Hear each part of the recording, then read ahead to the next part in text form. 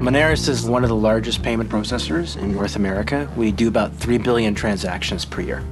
Our goal is to offer seamless transactions that are fast, simple, and secure, and Microsoft SQL Server allows us to do that.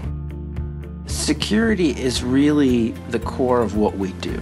Last year, it was $150 billion globally in consumer credit fraud. So we're pretty excited about Always Encrypted. It allows us to look beyond the scope of what is minimally required to deliver the kind of security that our industry expects.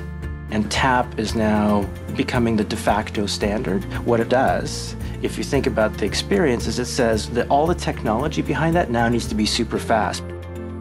Our target is to have a transaction completed in under a second. That's already a pretty tall metric, and we've seen a 20% improvement with SQL 2016. Not only has SQL 2016 been a really great experience, but it's actually helped us win some new opportunities as a result of our performance.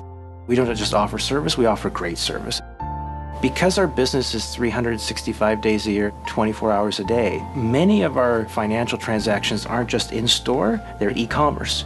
We really don't have downtime anymore. We don't have quiet time. We just have busy.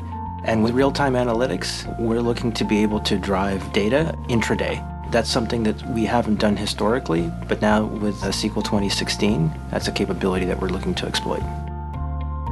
For every financial transaction, we have 10 database transactions.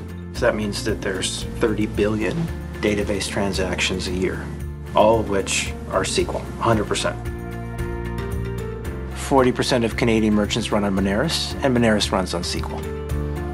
We chose Microsoft because we trust the platform to drive our business.